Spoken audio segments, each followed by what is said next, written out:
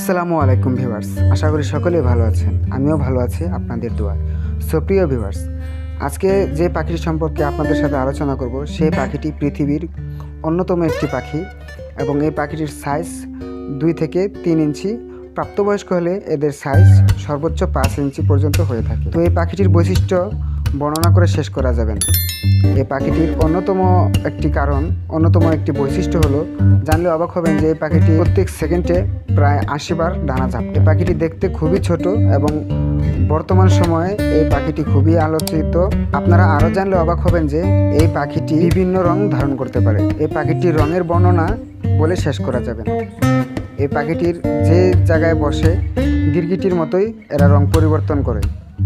এই পাখিটি দেখতে খুবই সুন্দর এবং ছোট সাইজের হওয়ায় পাখিটি সবার মন কেড়েছে।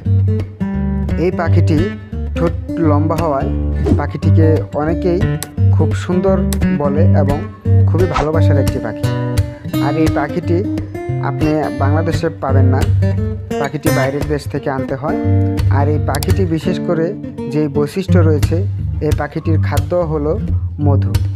এরা মধু খেতে খুবই পছন্দ করে।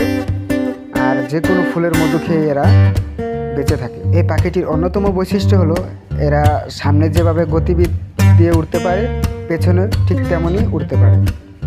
সো এই পাখিটির নাম হামিংবার্ড।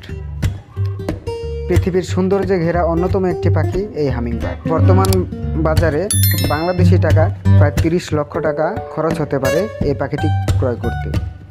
তবে জানি না এই পাখিটি ইনপুট হচ্ছে কিনা। যদি হয়, অবশ্যই আপনাদেরকে এর একটি ভিডিও আমি আপনাদের সাথে শেয়ার করব। সো এই পাখিটি আপনাদের কেমন সুন্দর লেগেছে, অবশ্যই কমেন্ট করে জানাবেন আর ভিডিওটিতে একটি লাইক দিয়ে যাবেন।